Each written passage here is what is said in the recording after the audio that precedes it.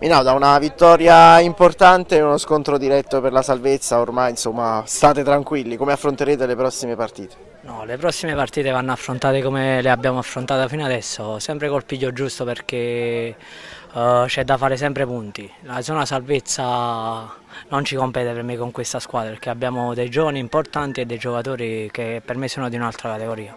Ma come si spiega il vostro rendimento in casa che è assolutamente da vertice, invece fuori casa avete collezionato molte sconfitte?